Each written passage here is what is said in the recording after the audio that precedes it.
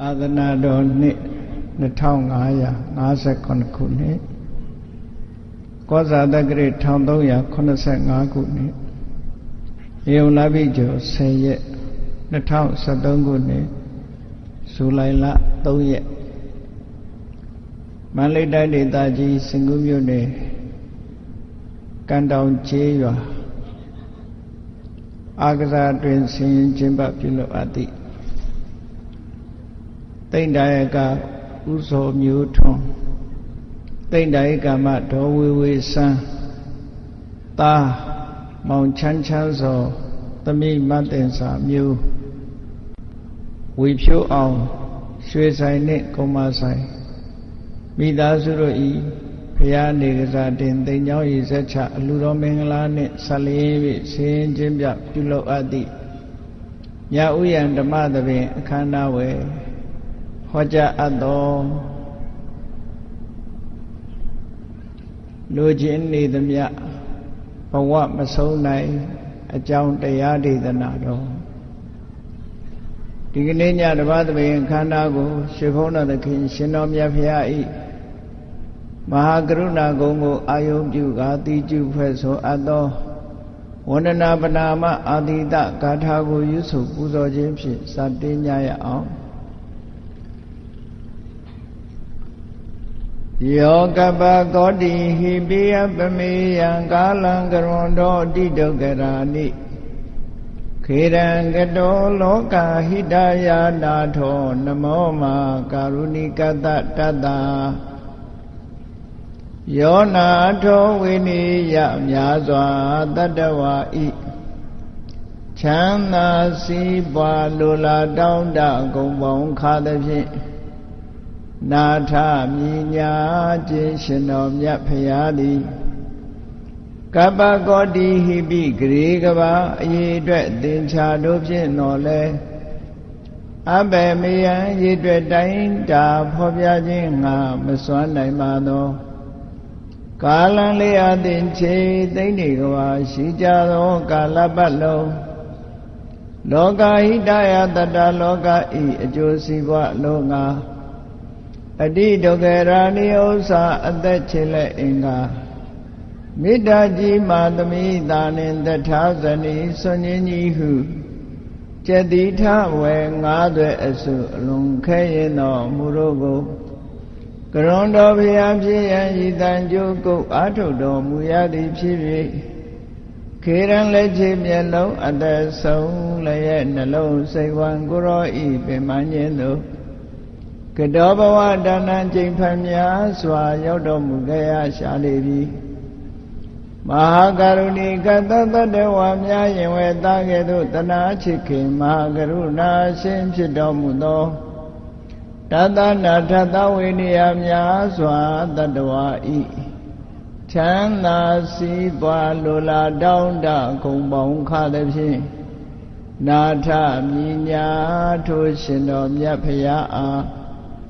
နမောယုတိပြောင်းပြော့မှန်ကိုလျော်၍ကရောယုကျိုးရှိခိုးခြင်းသည်အထုဘဝတုစင်စစ်မသွေဖြစ်ပါစေတည်း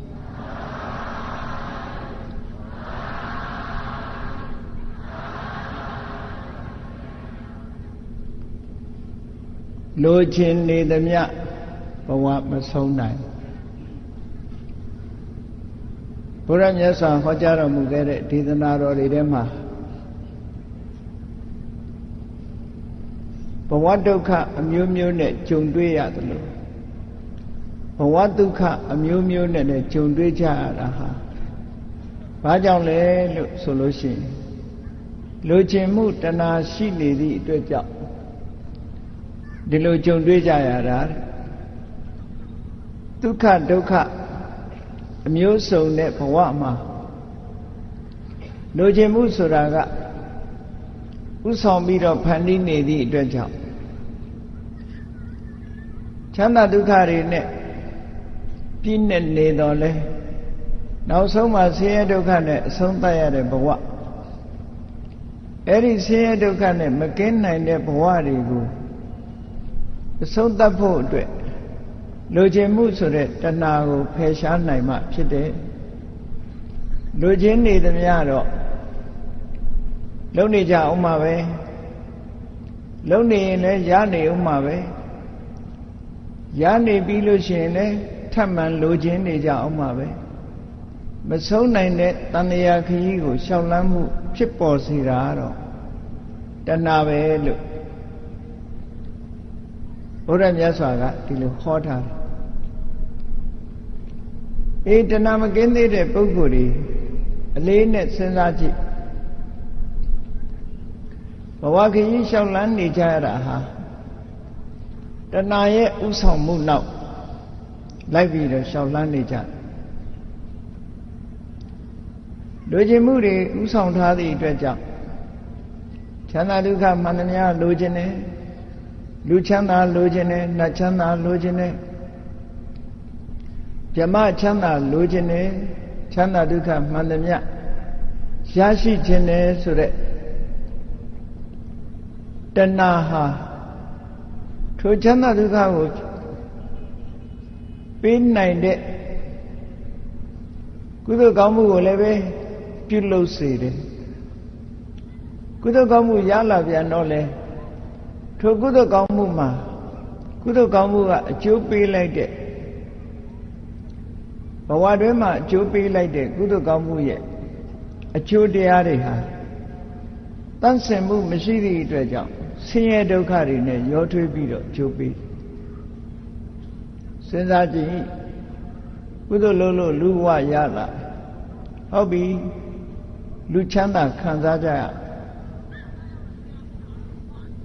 လူချမ်းသာဆိုတာဘဝကိုအကြောင်းပြုပြီးတော့ စီပါဥစ္စာတွေတိုးတက်ကြတယ်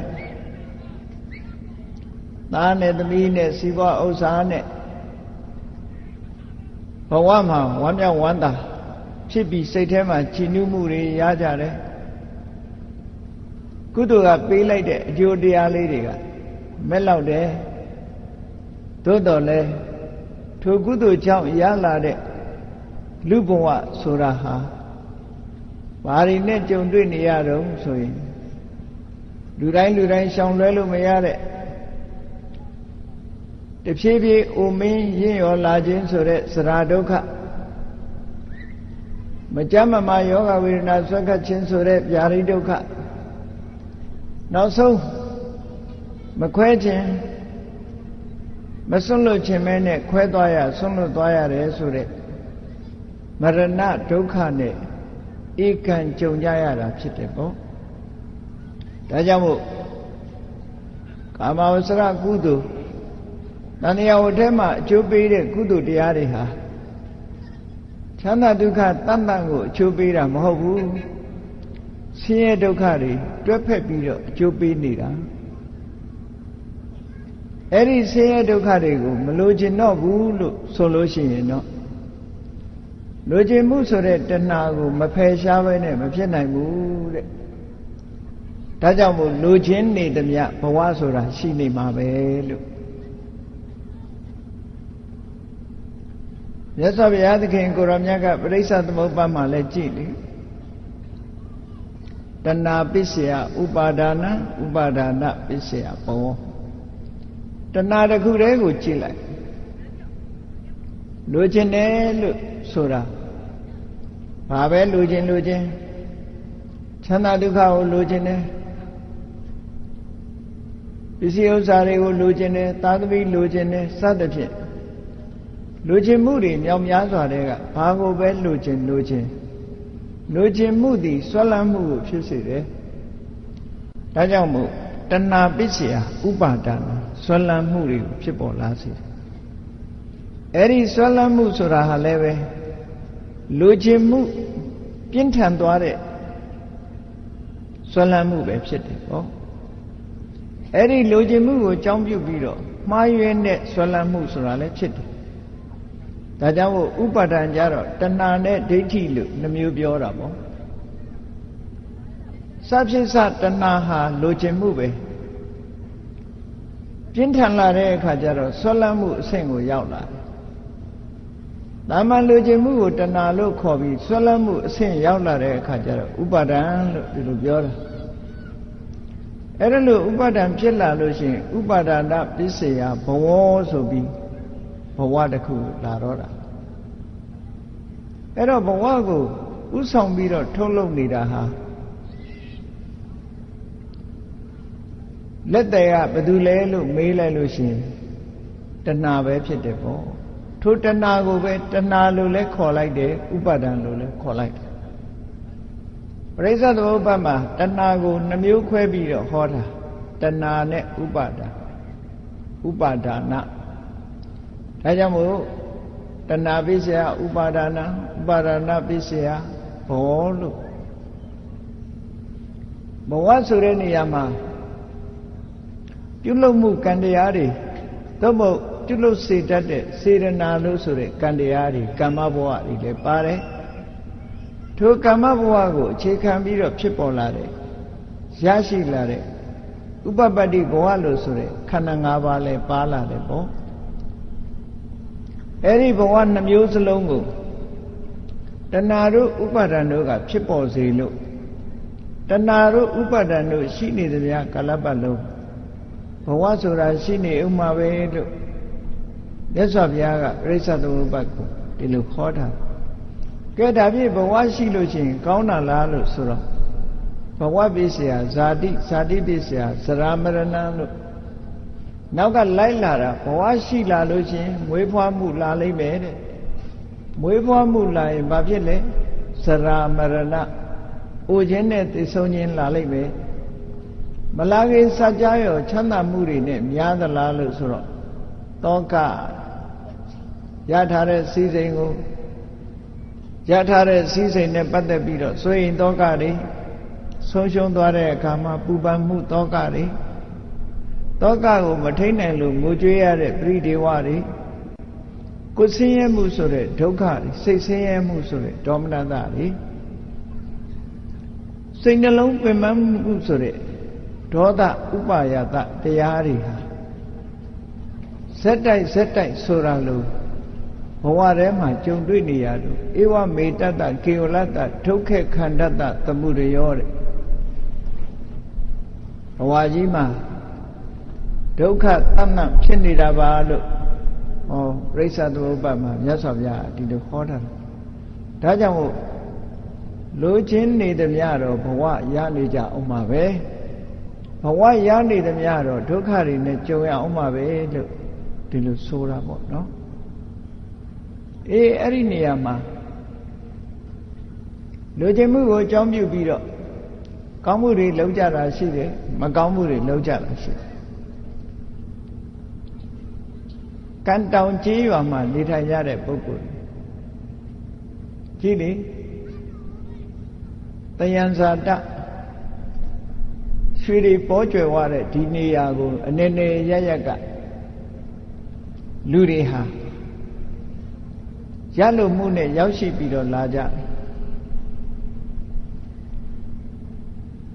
ရလို့မှုနဲ့ရောက်ရှိပြီးတော့လာကြလို့ကြိုးစားကြတယ်ကြိုးစားသည့်အတွက်ထိုက်တဲ့လျောက်လည်းရကြတယ်ဟောရလာတဲ့အခါမှာမလုပ်ကြတော့ပို့ပြီးတော့ရအောင်ကုသကောင်းမှုတွေလည်းလုပ်ကြတယ်ရလာတာကိုအကြောင်းပြုပြီးတော့ကောင်းမှုမလုပ်ဖဲနဲ့ ပြောသလိုနေကြတာလည်းရှိကောင်းရှိနိုင်တယ်ပေါ့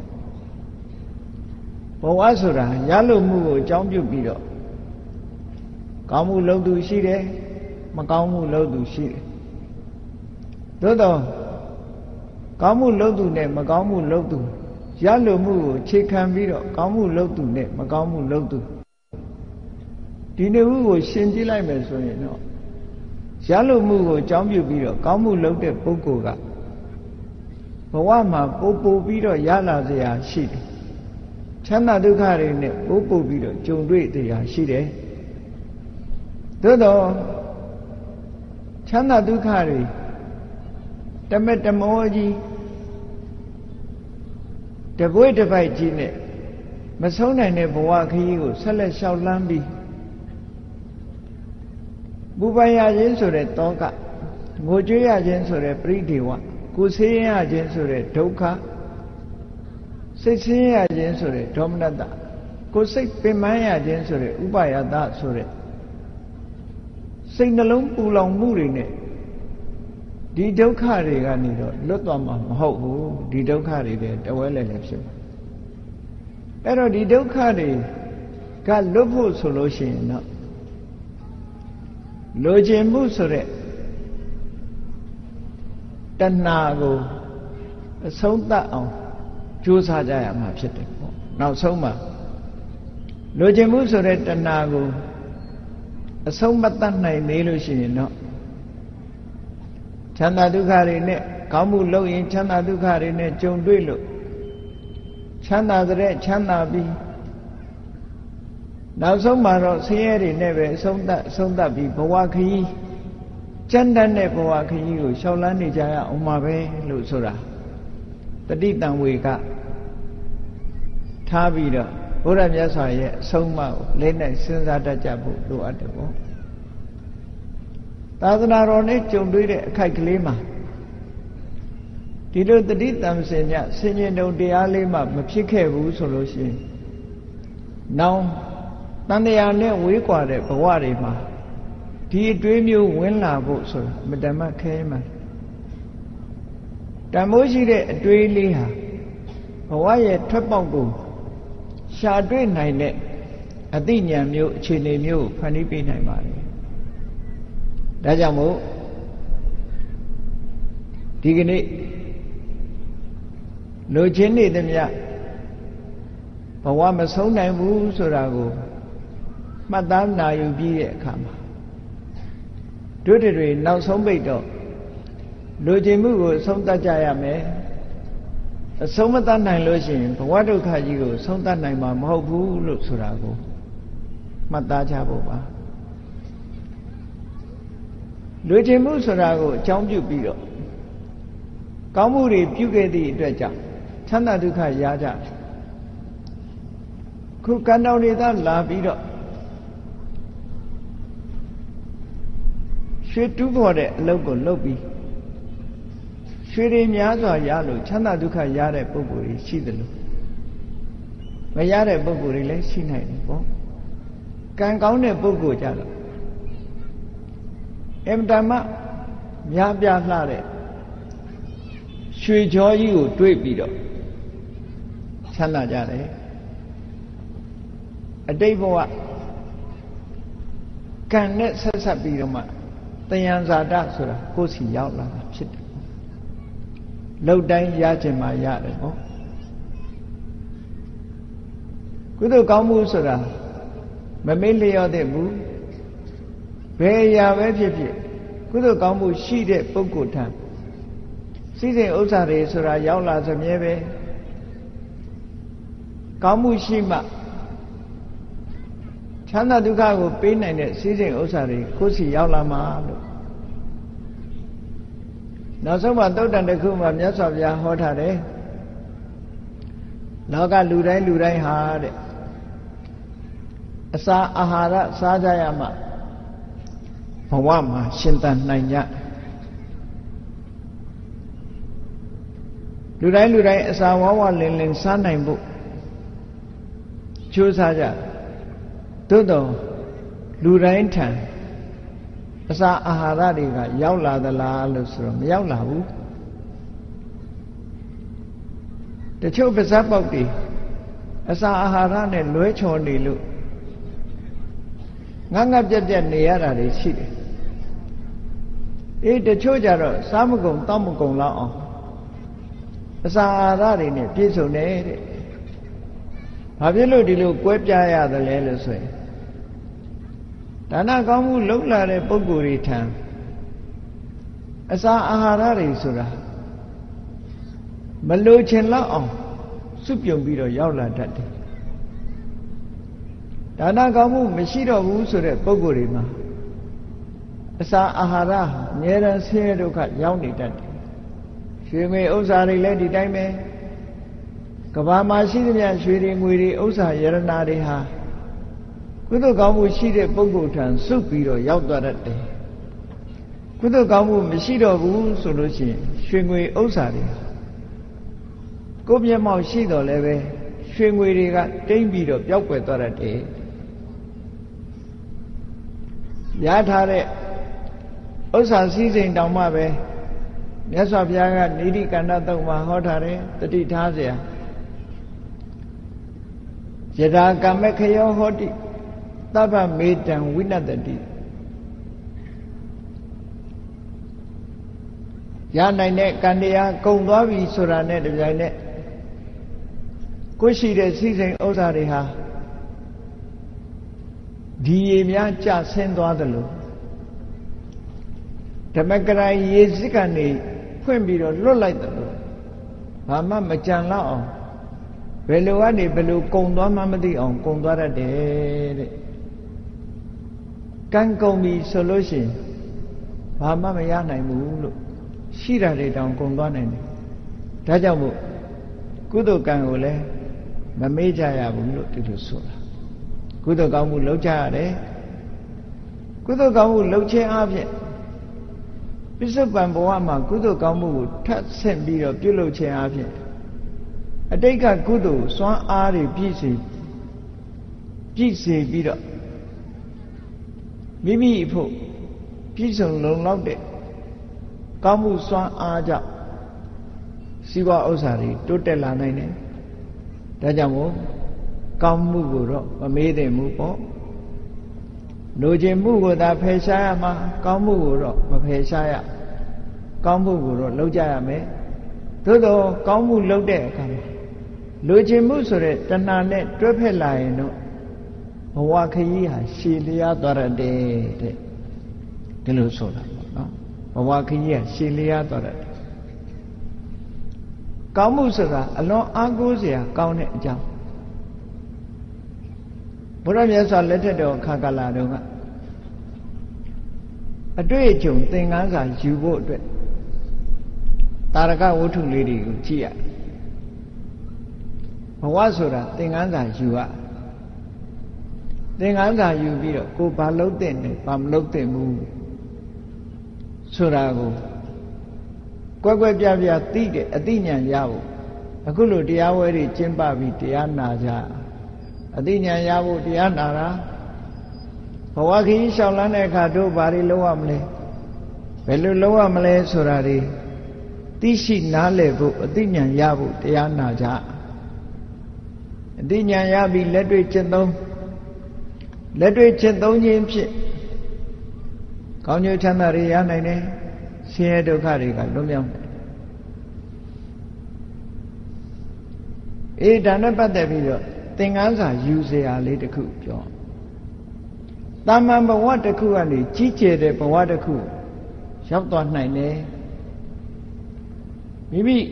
လှုပ်လိုက်တဲ့အမှတ်မထင်လှုပ်တတ်တဲ့ကုသိုလ်ကောင်းမှုရဲ့စွမ်းအားဟာဘယ်လောက်ကြီးမားတယ်ဆိုတာသတိထားကြပါ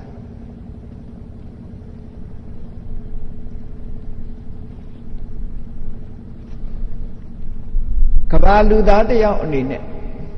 ဘဝမှာအတိတ်ကဖြစ်ပေါ်လာတဲ့အကြောင်းလေးတစ်ခုပြောပါမယ်မိသားစုတူထဲမှာညီကိုနှစ်ယောက်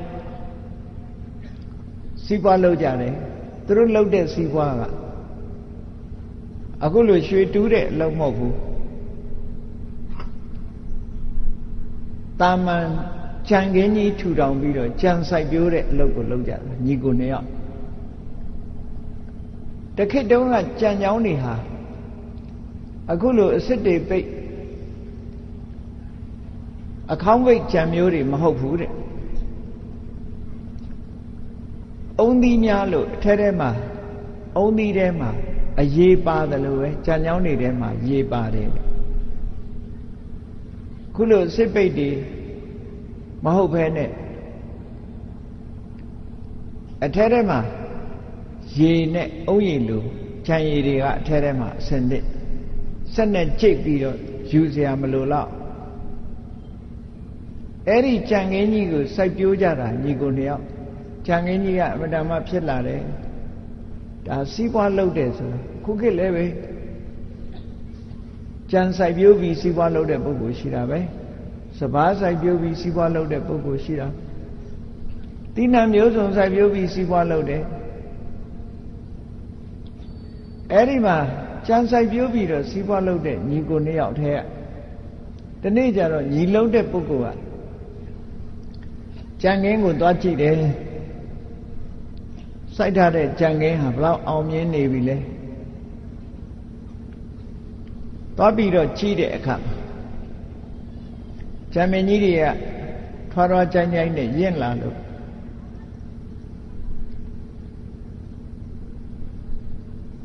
ဂျမင်းနှစ်ပင်ကိုဖြတ်ပြီးတော့ကြံချောင်းကြီးတွေထမ်းပြီးတော့အိမ်ပြန်လာတယ်နှစ်ချောင်းဖြတ်လာတာကတစ်ချောင်းကအိမ်မှာကြံရစ်တဲ့သူ့အကိုကြီးရဲ့အတွက်တစ်ချောင်းကတော့သူ့အတွက်ဆိုပြီးတော့ကြံချောင်းတစ်ချောင်းထမ်းပြီးတော့ပြန်လာတာဒါဘာမှထူးဆန်းတာမဟုတ်ဘူးကိုကြံငင်းကကြံခုတ်ပြီးတော့အပြန်ယူလာတာပဲဖြစ်တယ် သို့တော့ကံကောင်းကျင်တော့လမ်းမှာပိစိကဗုဒ္ဓအရှင်မြတ်တဆူနဲ့ပဲပင်းမှသွားတွေ့တယ်ကိုလက်ထဲမှာလဲကြံချောင်းပါလာတယ်ပိစိကဗုဒ္ဓအရှင်မြတ်ကလည်းတပိတ်ကလေးပိုက်ပြီးတော့ဆုံးခံကြွဖို့လာတယ်စိတ်ထဲမှာတရားတရားဖြစ်လာတယ်အရေးကြီးဆုံးကတော့အဲ့ဒီတရားစိတ်ပေါ်ဖို့ဟာအမှန်တမ်းအရေးကြီးပါ အလူကံပုဂ္ဂိုလ်လည်းရှိတယ်လက်ထဲမှာလှူစရာလည်းရှိတယ်တရားစိတ်မပေါ်ဘူးဆိုရင်ကုသိုလ်ကောင်းမှုကမလုပ်ဖြစ်ဘူးတဲ့တရားစိတ်ပေါ်လာသည့်အတွက်ကြောင့်လက်ထဲမှာရှိတဲ့ကြံ့ကြောင်းပပင်းမှာတွေ့နေတဲ့ပိစိကဗုဒ္ဓဟောအကြောင်းသုံးမျိုးဆုံသွားတော့မလုပ်လေတရားစိတ်ပေါ်လာသည့်အတွက်ကြောင့်ရှင်ပိစိကဗုဒ္ဓကိုပင့်ပြီးတော့ရှင်ဘုရားခိတ္တသတင်းသုံးတော်မူပါဆိုပြီး သူ့အတွက်ယူလာတဲ့ကြံကြောင်းအစစ်ပိတ်ကလေးကိုဖွင့်ပြီးတော့ပိစိကဗုဒ္ဓရဲ့သပိတ်ထဲကိုလောင်းထည့်လိုက်တယ်ကြံရည်တွေပိစိကဗုဒ္ဓအရှင်မြတ်ကသူ့ရှိမှာပဲတပိတ်ကိုမော့ပြီးတော့ကြံရည်တွေဖုံးမေးတာဝမ်းသာတယ်တိတ်ပြီးစိတ်ထဲမှာကြည်နူးသွားကြံရည်ကတ်လိုက်ရတယ်ဒီကနေ့ခေတ်မှာလဲ ခီးသွားရဟန်းတော်တွေတွေ့တဲ့အခါတချို့ပုဂ္ဂိုလ်တွေကုသိုလ်ကောင်းမှုလုပ်ချင်တဲ့တရားတရားပေါ်လာလို့လုပ်လိုက်ရကုသိုလ်ဆိုတာကောင်းမှုဆိုတာတစ်ချိန်တစ်ခါတရားထက်တဲ့တန်တန်နဲ့လှုပ်လိုက်လို့ရှိရင်ပျောက်သွားတာမဟုတ်ဘူးသူ့ရဲ့စွမ်းရည်တတ္တိတွေကကိုယ့်ရဲ့ရင်ထဲနှလုံးထဲမှာရှိပြီးတော့ online ဖြစ်သွားတာ online အနေနဲ့ရှိနေအကြောင်းအကျိုးညီတာနဲ့တပြိုင်နက် အကျိုးပေးတယ်ဥပမာပါနဲ့တူတော့ဆိုရင်ဒီပင်တပင်ကအသီးသီးတယ်အသီးကမှဲ့ပြီးတော့အစိတ်ရင့်ပြီဆိုတဲ့အခါမှာအဲ့ဒီအစိတ်လေးထဲမှာအပင်ပေါက်နိုင်တဲ့စွမ်းရည်တတ္တိတွေရှိနေမြေနဲ့ရေနဲ့တွေးလိုက်တာနဲ့တပြိုင်နက်အပင်ပေါက်ဖို့ပဲရှိတယ်ထို့တူပဲ ကုသိုလ်ကောင်းမှုလုံးလိုက်တာဟာကိုယ့်ရဲ့ရင်နဲ့နှလုံးထဲမှာမျိုးစေ့တစ်ခုရင်းရင်တန်တန်ဖြစ်သွားတဲ့သဘောပဲအကြောင်းညီတာနဲ့တပြိုင်နက်အပင်ပေါက်ခြင်းလို့ဆိုတဲ့အကျိုးတရားကိုရရှိလာမှာဖြစ်တယ်ဧကံမလွဲဘူးတဲ့ဒါကြောင့်မို့ဒီမျိုးတောင်းမျိုးကောင်းသားဟာပြစ္ဆင်ကဗုဒ္ဓကိုကြံရည်လှူပြီးတော့စိတ်ထဲမှာဝမ်းသာလိုက်တယ် ဝမ်းသာတော့သူကသူဖြစ်ချင်တာရချင်တာရချင်တာဘာတွေရချင်နေတော့လို့ဆိုကြည့်ကြံရည်လူပြီးတဲ့အခါဆူတောင်းလိုက်တယ်ဟောဒီအမတန်မှချုံမြိန်တဲ့ကြံရည်ကိုလှူလိုက်ရတဲ့ကောင်းမှုကြောင့်တပည့်တော်ဟာလူပြည်နတ်ပြည်ပြမပြည်တို့မှာချမ်းသာဒုက္ခကို ခံစားရပြီးနောက်ဆုံးအရှင်ဘုရားသိတဲ့တရားဓုတရားမြတ်ကိုသိရပါလို့ဤသူဆုတောင်းမုံကြည့်ဘဝချမ်းသာကိုသူရခြင်းနဲ့နောက်ဆုံးကြမှာပိစိကဗုဒ္ဓရှင်မြတ်သိတဲ့တရားကိုသိရပါလို့ဤလို့ဒီလိုဆုတောင်းတာဒီထဲမှာသူရခြင်းမှုတွေရှိနေတယ်ဘဝကိုသူမျောလင့်နေတယ်ဘဝချမ်းသာတွေကိုသူမျောလင့်ပြီးတော့ လူခြင်းမှုနဲ့တောင်းတလိုက်တာအဲ့ဒါလို့ဆူတောင်းပြီးတော့တရားတရားဆက်လက်ပြီးတော့လှူခြင်းတဲ့စိတ်ကရှိတော့နောက်တစ်ချောင်းကကြံရည်တွေကိုလည်းပြစ္ဆေကဗုဒ္ဓရှင်မြတ်ရဲ့တပိတ်ထဲကိုလောင်းဖို့စဉ်းစားလိုက်တယ်အဲ့ဒီကြံကြောင်းကသူ့ကိုယ်အတွက်ယူလာတာဖြစ်တော့သူ့ကြံကြောင်းမဟုတ်ဘူးသူ့ကိုယ်အတွက်ကြောင်ကြောင်းသူ့ကိုပိုင်တယ် ဒါကြောင့်မို့သူကစဉ်းစားတယ်ဒီကြံကြောင်းလည်းလှူလိုက်ခြင်းနဲ့သို့တော့အကိုအတွက်ကြံကြောင်းဆိုတော့အကိုကတန်မိုးတောင်းလို့ရှိရင်လေတန်ဖိုးပေးလိုက်မယ်ဆိုတဲ့ရည်ရွယ်ချက်နဲ့ပိစိကဗုဒ္ဓရဲ့တပိတ်ထဲကိုကြံတဲ့ကြံကြောင်းကကြံရည်တွေကိုထည့်သွင်းပြီးတော့လှူလိုက်ပြန်လှူလိုက်တော့ပိစိကဗုဒ္ဓကပထမကြံကြောင်းကကြံရည်တွေကိုဖုံးပေးပြီလို့ ဒုတိယကြံကြောင်းကကြံရည်တွေကြတော့မလုပ်လဲလို့ဆိုတော့ကျန်တဲ့ပိစိကဗုဒ္ဓ900ခန္ဓာမာရဏတောင်မှသတင်းသုံးနေတယ်အဲ့ဒီပိစိကဗုဒ္ဓရှင်မြတ်တွေစီသွားပြီးတော့ခွဲဝေလူထမ်းမှုစိတ်ကူးရှိတယ်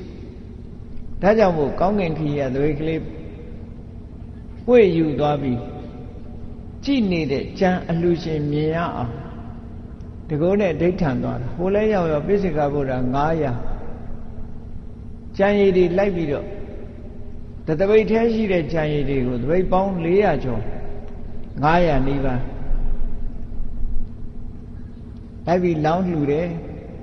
လောင်းလှူတော့ကြံတဲ့ပိစိကဘုရားရှင်မြတ်တွေလည်းကြံရည်ကိုဝဝလင်းလင်းဖုံးပေးကြရတယ်ဖုံးပေးနေတာကိုလည်းကြံအလှူရှင်ကမြင်ရ မြင်ရတော့ဝမ်းသာလိုက်တာပီတိတွေဖြစ်လက်ထက်ပါလာတဲ့ကြံနှချောင်းစလုံးအရေးကိုထုတ်ပြီးပိစိကဗုဒ္ဓလှူပြီးတော့သူအိမ်ပြန်သွားတယ်အကိုကြီးနဲ့တွေ့တဲ့အခါကျတော့ဘယ်ကပြန်လာလဲကြံငင်းကပြန်လာဒါဖြင့်ကြံကြောင်းလေးပါလေယူမလာဘူးလားလို့ဆိုတော့ယူလာပါတယ်ဆိုပြီးအကျိုးအကြောင်းတွေကိုပြောပြသူကြံကြောင်းလှူလိုက်တော့ကပိစိကဗုဒ္ဓဖုံးပေးတယ် လူချင်းစိတ်မထိန်နိုင်လို့ဒုတိယအကိုကြီးအတွက်ယူလာတဲ့ကြံကြောင်းကိုပိစိကဗုဒ္ဓကိုလှူတော့ပိစိကဗုဒ္ဓကကြံတဲ့ပိစိကဗုဒ္ဓ900နဲ့မျှဝေပြီးတော့ဖုံးပေးတယ်ဆိုတဲ့အကြောင်းတွေပြောပြီးတော့အကိုကြီးကြံကြောင်းတန်ဖိုးလိုချင်လဲတန်ဖိုးပေးပါမယ်လို့ပြောတော့သူ့အကိုကြီးကသူ့ကြံကြောင်းကိုလှူတယ်လို့ဆိုရဲကသူ့စိတ်ထဲမှာဝမ်းသာအာရဖြစ်နေ သူကိုယ်တိုင်လှူတာမဟုတ်ဘူးနော်ဝမ်းသာအာရတွေဖြစ်နားထောင်ရင်ပဲစိတ်ထဲမှာချီနူးလို့သူကြံကြောင်းကိုသူကြံကြောင်းကကြံရည်တွေကိုပိစိကဗုဒ္ဓ900မျှဝေပြီးတော့ဖုံးပေးတယ်ဆိုတာကိုကြည့်လိုက်ရတော့သူစိတ်ထဲမှာသိလိုက်ရတော့အလုံးကိုပီတိတွေဖြစ်တာအဲ့ဒီပီတိကိုအကြောင်းပြုပြီးတော့သူလူရတဲ့ကုသိုလ်ကောင်းမှုရဲ့ ကောင်းကျိုးချမ်းသာအနေနဲ့သူကဘာလို့ခြင်းတုံးဆိုပြောလိုက်တာဒီကောင်းမှုကြောင့်ပိစိကဗုဒ္ဓအရှင်မြတ်များသိတော်မူတဲ့တရားကိုပဲသိပါရစေလို့ဟောလူဘဝနတ်ဘဝချမ်းသာဒုက္ခခံစားပါရစေဆိုမပါဘူးပိစိကဗုဒ္ဓတွေသိတဲ့တရားသူတရားမြတ်ပဲသိခြင်းနဲ့ဒီကုသိုလ်ကောင်းမှုကြောင့်လိုချင်မှုမပါတဲ့ဆူတောင်းမှုလေး အဲ့လိုအကုန်လုံးတဲ့ပုဂ္ဂိုလ်ကဒီလိုဆူတောင်းလိုက်တာသူတို့ညီကိုနှစ်ယောက်ဘဝအဆုံးသတ်သွားတဲ့အခါကျဒီကောင်းမှုပေါ်မှာကြည်နူးနေတဲ့ပိဋိဒုက္ခပိဋိသောမနတတွေနဲ့တည်တဲ့အခါမှာနတ်ပြည်ရောက်လို့နတ်စည်းစိမ်ချမ်းသာခံစားလို့နတ်တတန်စိတဲ့အခါကျတော့ လူပြည်ဘက်ကိုပြန်နေမွေးဖွားကြပြန်တယ်ကုသိုလ်ကောင်းမှုအရှိန်ရှိသည့်အတွက်ကြောင့်ဆင်းရဲတဲ့ဘဝမှာမရောက်ဘူးတထေးအိမ်မှာသွားပြီးတော့အကိုကြီးလှုပ်တဲ့လူကအကြီးအငယ်လှုပ်တဲ့လူကညီငယ်အနေနဲ့ပဲတအိမ်ထဲမှာသွားပြီးတော့မွေးဖွားကြပြန်တယ်ဒါမျိုးကဘဝဆိုတာဆုံတတ်တယ်ဝဆိုတာကိုယ်ကမမှတ်မိပေမဲ့စုံစည်းတတ်တယ် အဲ့ဒီအချိန်မှာလူပြေမှာဝိပဿနာမြတ်စွာဘုရားဒီကဘာကပြန်တွက်ကြည့်မယ်ဆိုရင်60ကဘာတက်ကပေါ့60ဘာကွာလှမ်းနေသေးတဲ့အချိန်ကဝိပဿနာမြတ်စွာဘုရားပွင့်နေတယ်အဲ့ဒီအချိန်မှာညီကိုနှစ်ယောက်အနေနဲ့တထဲအိမ်မှာမွေးလို့စီရင်ချမ်းသာတွေပြည့်ပြည့်ဝဝနဲ့လူချမ်းသာခံစားနေကြ ကုသိုလ်ကောင်းမှုလုပ်ခဲ့တဲ့ပုဂ္ဂိုလ်တွေဟာကုသိုလ်ကောင်းမှုရဲ့အကျိုးကိုရရှိပြီးတော့နေကြတနေ့ကျတော့အကိုကြီးကိုအကိုကြီးကဖရာတရားသွားနာတယ်အကိုကြီးရဲ့နာမည်ကိုသေနလို့ခေါ်တယ်ညီငယ်ကိုတော့အပရာဇိတလို့ခေါ်တယ် သူတို့ညီကိုနှစ်ယောက်အကိုကြီးအကြောင်းသွားတရားနာတဲ့အခါမှာမြတ်စွာဘုရားရဲ့အလေးနဲ့ဟောတဲ့ဇမစရိယလို့ဆိုရယ်မဂ္ဂင်၈ပါးအကျင့်တရားရဲ့အကြောင်းအလေးနဲ့ကြားနာရတဲ့အခါမှာသူပိုင်ဆိုင်တဲ့ပစ္စည်းဥစ္စာတွေပေါ်မှာတွေ့တာမှုတွေမထားတော့ပဲနဲ့ညီငယ်ကိုအလုံးလွှဲအပ်ပြီးတော့သာသနာပေါင်းဝင်ပြီးတော့ယဟန်ဝတ်တယ် ညီငယ်ကမဟုတ်ဖို့တားပေမဲ့လို့မရဘူးသူလုပ်ခဲ့တဲ့ပါရမီကုသိုလ်ရဲ့လှုပ်ဆောင်မှုကြောင့်ဘဝစည်းစိမ်တွေအလုံးကိုဆွန့်လွတ်ပြီးတော့ဘုရားစီရဟန်းပြုလိုက်တာမကြခင်ပဲရဟန္တာကြီးဖြစ်သွားတယ်ကြည့်နော်ပထမသူကိုယ်တိုင်လှူတာမဟုတ်ဘူးကြံကြောင်းကိုညီငယ်လှူတာကို စိတ်ထဲကကြည်နူးပြီးသူ့ပိုင်ပစ္စည်းဖြစ်သည့်အတွက်ကြောင့်သူလှူသလိုစိတ်ထဲမှာသဘောထားပိစိကဗုဒ္ဓတွေသိတဲ့တရားဓမ္မကိုသိရပါလို့ဤလို့ဒီလိုဆူတောင်းလိုက်ပြီးတော့ဆူတောင်းလိုက်တဲ့ကုသိုလ်ကောင်းမှုရဲ့အကျိုးတရားဟာဒုတိယဘဝတတိယဘဝမှာလာရောက်ပြီးတော့ပြည့်စုံသွားတယ်။ဈာထဲမှာနတ်ဘဝတစ်ခုပဲရှိတယ်။ လူဘဝရောက်လာတာနဲ့တပြိုင်နက်ဖះနဲ့တွေ့သူလိုချင်တဲ့တရားဓုတရားမြတ်ရပါညီငယ်လုံးတဲ့ပုဂ္ဂိုလ်ကတော့သူဆူတောင်းလိုက်တာကလူချမ်းသာနာချမ်းသာပြမချမ်းသာခံစားပြီးတော့အဆုံးစွန်သောဘဝမှာဣစိကဗုဒ္ဓတွေသိတဲ့တရားဓမ္မကိုသိရပါလို့ဤလို့ဆိုတော့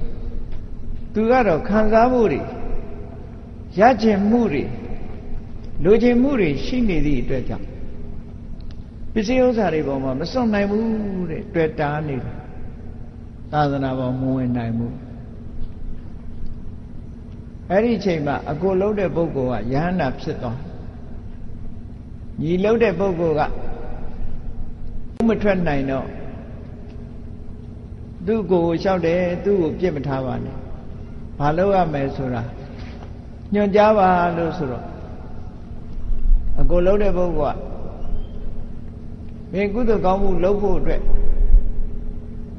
ပြောရမယ်ဆိုရင်ဘုရားသတင်းသုံးဖို့ကြောင်းဆောက်ပါမြတ်စွာဘုရားသတင်းသုံးမဲ့ကြောင်းကိုဆောက်လို့ဆိုဘုရားသတင်းသုံးဖို့ခန္ဓာခုရိတိုက်ကိုယရနာတွေစီချယ်ပြီးတော့အင်တမလှပဆန်းကျယ်တဲ့ကြောင်းကြီးကိုဆောက်လုပ်ပြီးတော့လှူဒန်းတယ်အဲ့ဒီချိန်မှာသူတို့ရဲ့တူတော်တဲ့ပုဂ္ဂိုလ်တယောက်ကလည်း နာမည်ကတော့အပရာဇိတလို့ပဲခေါ်တယ်သူကလည်းသူဦးကြီးကျောင်းဆောက်လူးနေတဲ့အခါသူလည်းကုသိုလ်ပါဗျာစေပြောတော့အေးငါကျောင်းနဲ့တော့မင်းပါလို့မရဘူးဒီပြင်တီးတီးတန်းတန်းလှုပ်ချင်လှုပ်လို့ဆိုတော့ကျောင်းဦးစင်ဝင်ခုခေတ်တော့ပေါ်တီကိုခေါ်မှာပေါ့နော်ကျောင်းရဲ့ရှိကပေါ်တီကိုလေးတစ်ခုထည့်ပြီးတော့သူကဆောက်လုပ်လူထမ်းတယ်တဲ့ မြတ်စွာဘုရားသတင်းသုံးတဲ့ကျောင်းကြီးကအမြဲတမ်းခန္ဓာယုံနေမကဘူးပတ်ပတ်လည်မှာကျောင်းတံပရမတန်ဖိုးရှိတာတွေအကုန်လုံးအလှအနေနဲ့ကျဲဖြန့်ပြီးတော့ထားတယ်မြတ်စွာဘုရားသတင်းသုံးတဲ့ပလင်ဘေးမှာလဲသခွားသီးလောက်ရှိတယ်ဗရမ ्या လုံးကြီးကိုတင်ထားတယ် မြတ်စွာဘုရားခန္ဓာကိုယ်ကထွက်တဲ့ရောင်ချီဗရမ ्या လုံးကြီးရဲ့အလှဒီနှစ်ခုကိုကြည့်လို့မွားလောက်အောင်တစားဆင်ပြီးတော့ထားတယ်အဲ့ဒီမှာယရနာတွေကအလွန်များတယ်ကျဲထားတာမြတ်စွာဘုရားသတင်းသုံးမှုအဲ့ဒီเจ้าကိုလှူဒန်းတဲ့အခါမြတ်စွာဘုရားကเจ้าမော်တက်ဖို့အတွက်ဖြစ်နေနေတယ် ယရနာတွေကိုကြည့်ပြီးတော့မြတ်စွာဘုရားကစဉ်းစားတယ်ဟောဒီယရနာတွေကအလွန်တန်ဖိုးရှိတယ်မြတ်စွာဘုရားမှာဝန်တော့ဝန်ဖို့ဖြစ်လိမ့်မယ်ကျောင်းလာတဲ့လူဆိုတာလူမျိုးစုံပဲတရားနာခြင်းလို့လာတဲ့လူရှိတယ်အချောင်ရခြင်းလို့လာတဲ့လူလည်းရှိတယ်မျိုးစုံပဲယရနာတွေကိုလာပြီးတော့ယူသွားမယ်ဆိုလို့ရှိရင် မြတ်စွာဘုရားအနေနဲ့မယူနဲ့လို့ဒီယရနာတွေကိုဆောင်းရှောက်မှာမဟုတ်ဘူးအဲ့ဒီလိုဝန်တို့ဝန်မိုးကြီးဖြစ်နေလို့အစင်မပြေဘူးဆိုတာကိုမြတ်စွာဘုရားကကျောင်းပေါ်မတက်ဖဲနေတဲ့အခါတကာကလည်းကျောင်းပေါ်ကြွဖို့ပင့်ဘုရားကလည်းမတက်နောက်ဆုံးတော့မြတ်စွာဘုရားကအမူအရာနဲ့သေနဆိုတဲ့သူ့နောင်တော် ယဟန်ကိုကြည့်တဲ့အခါသေနဆိုတဲ့နောင်တော်ကြီးကသဘောပေါက်တယ်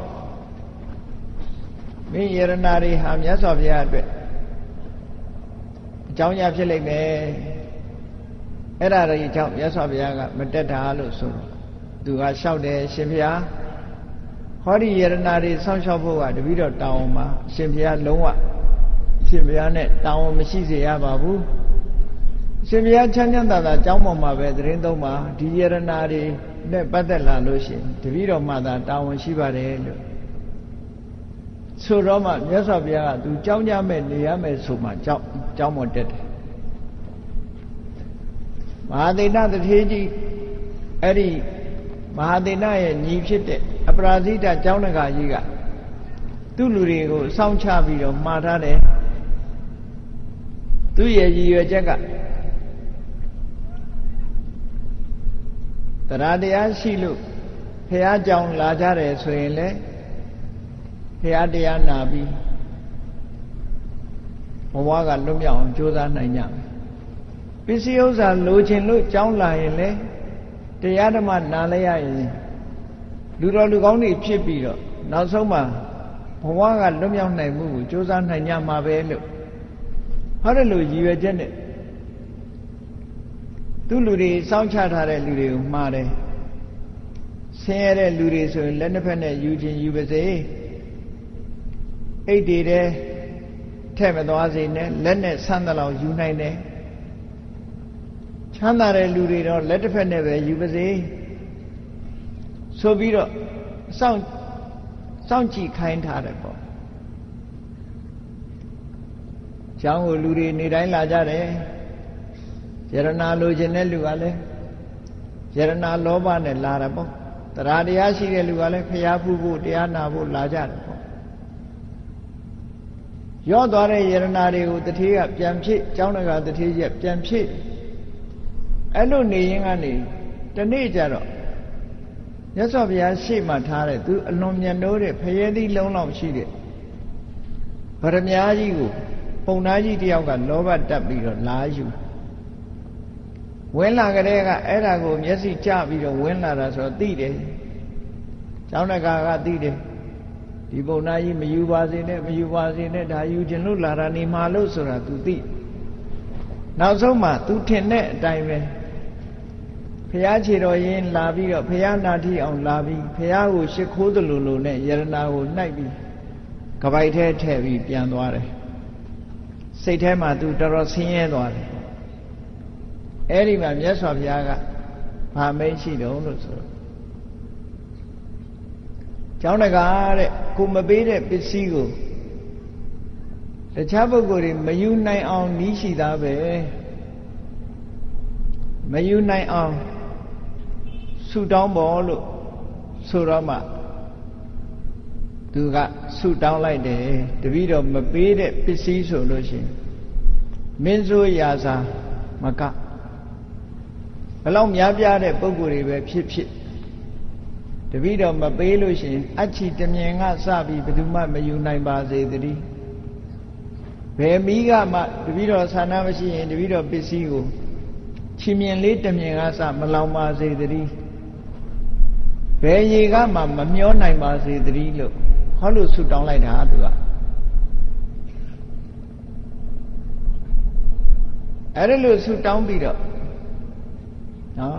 ဘဝခရီးတစ်ခုအဆုံးသတ်သွားတယ်သူရဲ့နောင်တော်ဖြစ်တဲ့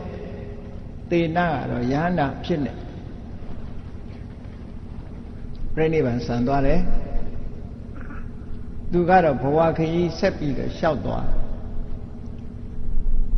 လုပ်တဲ့ကုသိုလ်ကောင်းမှုတွေအကြောင်းမို့လို့ကုသိုလ်ကောင်းမှုဆိုတာလုံးတဲ့နဲ့လုံးသည့်အတွက်ကြောင့်ဘဝမှာ ချမ်းသာဒုက္ခတွေရတယ်သူများတဲ့ထက်တန်းကြတယ်စီစဉ်ဥစ္စာတွေနဲ့ပြည့်စုံတယ်နောက်ဆုံးမှာရာဇဂုပြည်သွားပြီးတော့ဗမာလူမျိုးတွေဆူတောင်းတဲ့ထဲမှာပါတယ်ဇောတိကတထေဆိုတာသွားဖြစ်တယ်ပေါ့နော်ဇောတိကတထေဆိုတာသွားဖြစ်တယ်အဲ့ဒီဇောတိကတထေဘဝမှာလည်းအလွန်ချမ်းသာတာတွေခံစားကောင်းမှုဆိုဒီမှာ ချမ်းသာဒုက္ခကိုပေးတယ်ဒါကြောင့်မို့ကုသိုလ်ကောင်းမှုကိုအနဝိဇ္ဇဒုက္ခဝိပါကလက္ခဏာအပြစ်ကင်းပြီးတော့ချမ်းသာတဲ့အကျိုးကိုပေးနိုင်လို့ကုသိုလ်ကောင်းမှုကလှုပ်တဲ့လှုပ်ထိုက်တယ်မှန်တယ်ဒါနကောင်းမှုလည်းလုပ်ရမယ်သီလလည်းစောင့်တည်ရမယ်ကမ္မထံဘာဝနာလည်းပွားများအားထုတ်ရသို့တော့အဲ့ဒီကုသိုလ်ကောင်းမှုဟာလှုပ်တဲ့ကုသိုလ်ကောင်းမှုသည် တန်တရားဝဆင်းရဲတဲ့မှာလှည့်ပြီးတော့အကျိုးပေးတဲ့တန်တရားဝဆင်းရဲကိုသာဥတီချက်ထားတဲ့တွေ့တာမှုတဏှာရဲ့အုပ်စိုးမှုအောက်မှာရှိနေမယ်ဆိုလို့ရှိရင်တော့တန်တရားတွင်းမှာပဲသူကအကျိုးပေးပြီးတော့ချမ်းသာဒုက္ခရတော့လဲနောက်ဆုံးမှာအိုခြင်းနဲ့နာခြင်းတေခြင်းလို့ဆိုတဲ့ဆင်းရဲဒုက္ခတွေနဲ့ပဲဆုံးသတ်ဘဝချမ်းသာဆိုတာ ဆင်းရဲဒုက္ခနဲ့ပဲအဆုံးသတ်ရတယ်ပေါ့နောက်ဆုံးမှာအရှင်မြတ်တို့သိရတဲ့တရားဓမ္မကိုသိရပါလို့ဤလို့ဆိုတဲ့ဝိဝတ္တနေတိတ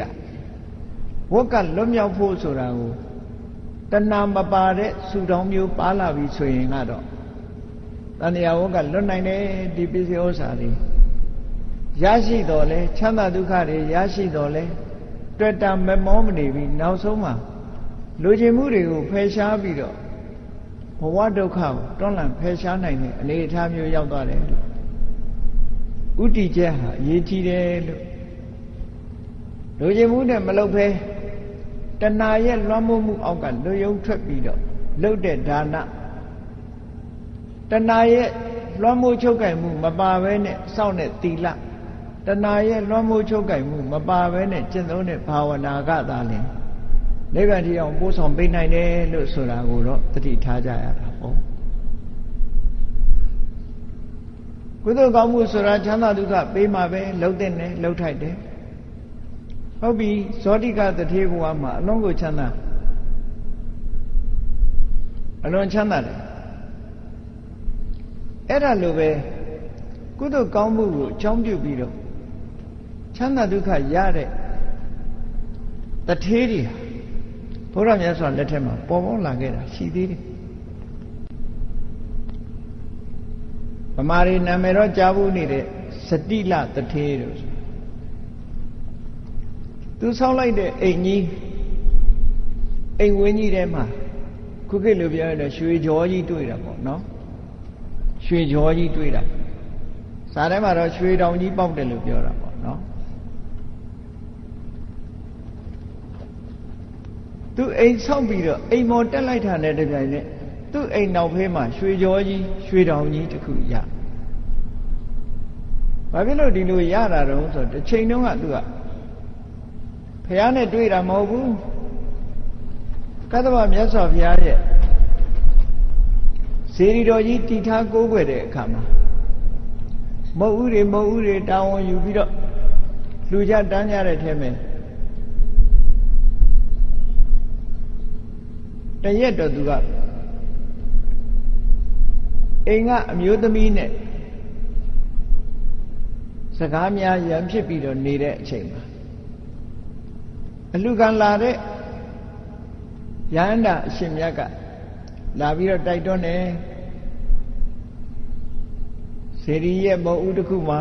ရွှေတွေလိုအပ်နေတယ်ရွှေတွေကိုလှူဖို့ရသင့်တယ်လို့တိုက်တွန်း နှိုးဆော်တဲ့အခါမှာ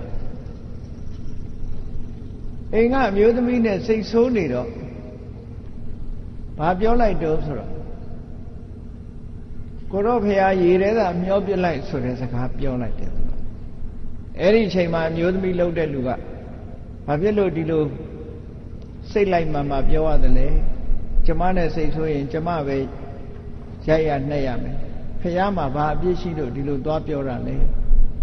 ဆိုတော့မှ तू တန်ဝေကရသွားပြီနောက်ဆုံးမှာရွှေပန်းကန်ကြီးတွေကိုပြုလုပ်ပြီးတော့မြတ်စွာဘုရားကိုလှူဒန်းပြီး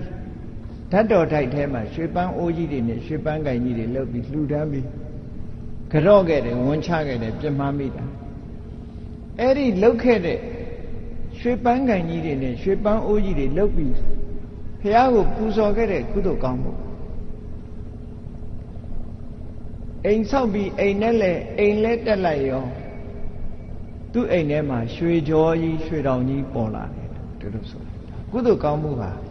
အင်တမအရေးကြီးတယ်လို့ပြောတာနော်ကိုလုတ်ခဲ့တဲ့ကုသိုလ်ကောင်းမှုဟာလာပြီးတော့အကျိုးပေးတာ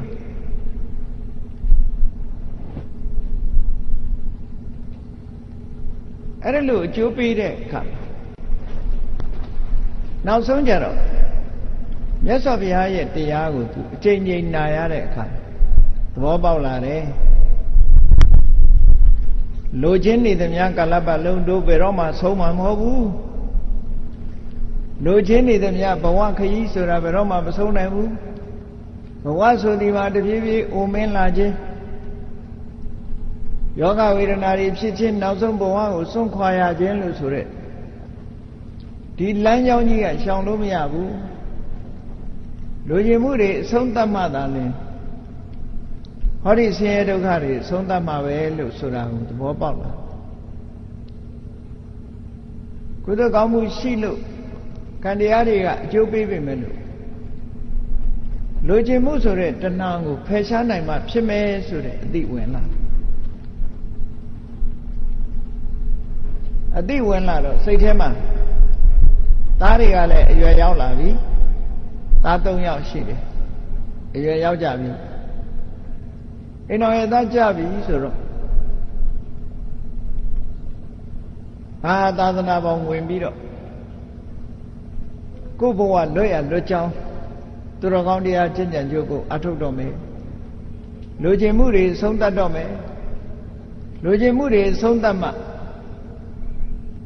ဘဝဆိုတာဆုံးတတ်မှလို့ ကြံစီစိတ်ကူးပြီးလောကမှာငားတဲ့ချမ်းသာတဲ့ပုဂ္ဂိုလ်တွေများရှိသလားအိမ်ထဲမှာရွှေတောင်ကြီးနဲ့နေတဲ့ပုဂ္ဂိုလ်တော့မဟုတ်ရွှေကြောကြီးတွေ့ပြီးတော့ရွှေတွေမကုံနိုင်အောင်ထုတ်သုံးနိုင်တဲ့တထေးစဉ်းစားလာတယ်ငါတဲ့ချမ်းသာတဲ့လူများရှိလားစုံစမ်းခိုင်းတယ်ရွှေအုပ်ချက် ရွှေနှစ်နန်းတပြားဒါတွေကိုလုတ်ပြီးတော့အရာလေးမျက်နှာကိုသူ့အိမ်ကတမန်နေစုံစမ်းရေးသမားတွေဆစ်လွတ်လိုက်တယ်ငါတဲ့ချမ်းသာတဲ့လူများရှိလားလိုက်ရှာကြတာဆိုတော့သူတို့လိုက်ပြီးအနေနဲ့ရရစုံစမ်းတဲ့အခါဗတ္တိယမြို့ရောက်သွားတယ်ဗတ္တိယမြို့ရောက်သွားတဲ့အခါကျ အဲ့နောက်ဖေးမှာရွှေဆိပ်ရုပ်ကြီးတွေကနေပြီးဆင်လောက်နွားပေါက်လောက်ကြီးတဲ့ရွှေဆိပ်ရုပ်ကြီးတွေကလိုချင်တာမှသမျှအကုန်ရနေပြီးတော့ချမ်းသာဒုက္ခကြွယ်ဝတဲ့တထေးတူရှိတယ်မင်တကတထေးလို့ခေါ်တယ်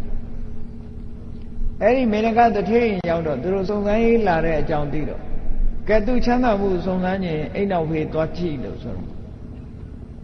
ရွှေဆိပ်ရုပ်ကြီးတွေဟာကြောခြင်းထိပြီးတော့ တထေးလိုသမျှတွေကိုဖြည့်ဆည်းပေးနေတာကို သူတွေ့ရတဲ့အခါအဲ့ဒီလူတွေတွေ့ရတဲ့အခါသူတို့တထေးစီပြန်ပြီးတော့အစီရင်ခံစာတင်တယ်ဗာရိယမျိုးကမေနကတထေးရဲ့စီစဉ်ဟာမတ္တမကြီးကျယ်တဲ့သုံးမကုန်နိုင်တော့အောင်ချမ်းသာတယ်ရွှေလိုခြင်းရွှေငွေလိုခြင်းငွေအလွယ်တကူနဲ့ရကုသိုလ်ကောင်းမှုဆိုတာမတ္တမထူးဆန်းတာကုသိုလ်မရှိတဲ့ပုဂ္ဂိုလ်ဟာ အတူတရားနဲ့တဲ့တွင်းကြီးတဲ့တူကုန်တော့ရွှေတပြားရွှေရွှေတမုံမှရဖို့မလွယ်ဘူးကုသိုလ်ရှိမှရတာဟောမင်းကတထေးဟာအလုံးကိုချမ်းသာတယ်အရှင်တထေးမင်းချမ်းသာတာဘာပြောတော့မလဲကိုကချမ်းသာတာမှအကြီးကျယ်ချမ်းသာတာလို့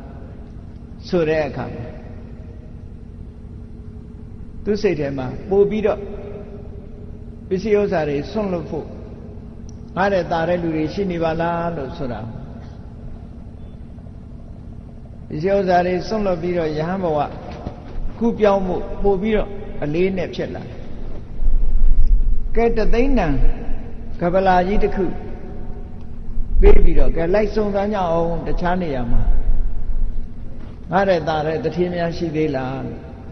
မော်မော်မြတ်မြတ်တသိန်းတန်ကပလာကြီးကိုပေးပြီးသွားစုံစမ်းတာ ရာဇဂုပြေရောက်တဲ့အခါကျတော့ဇောတိကတထေးအိမ်ရောက်သွားတယ်ဇောတိကတထေးဆိုတာ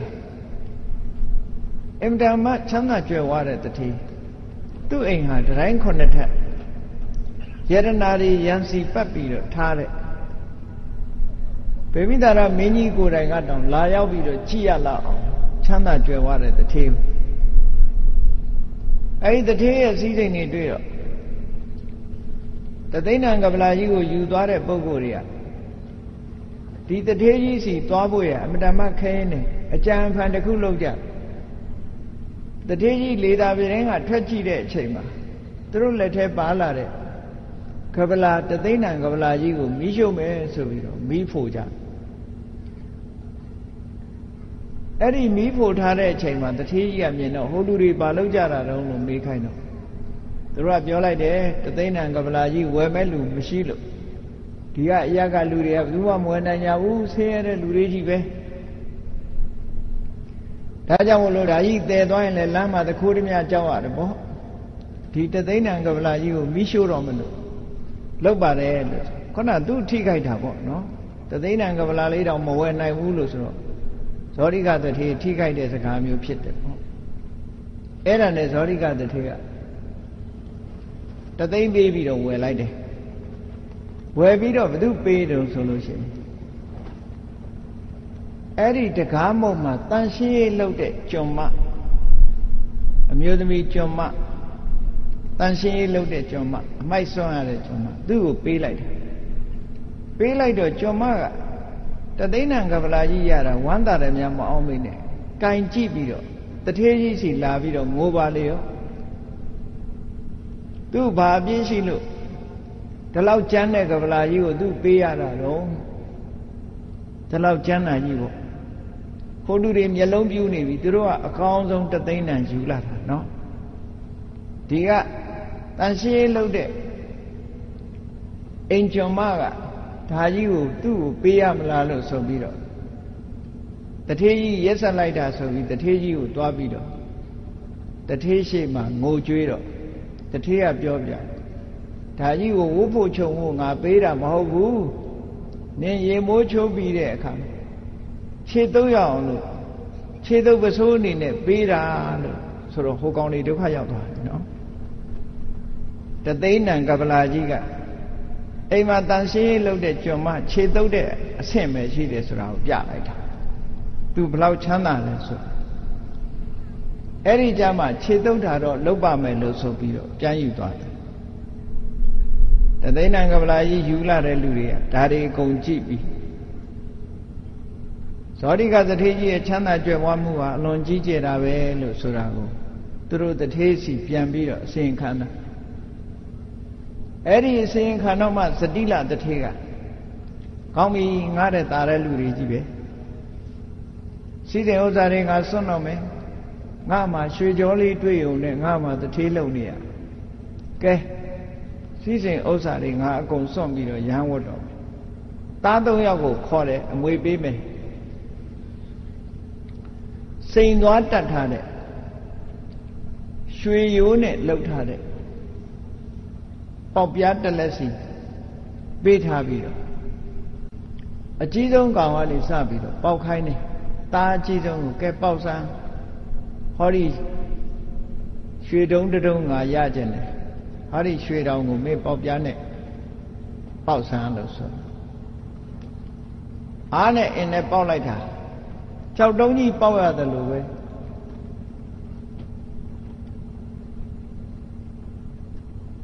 ရွှေတုံးမှမရဘူး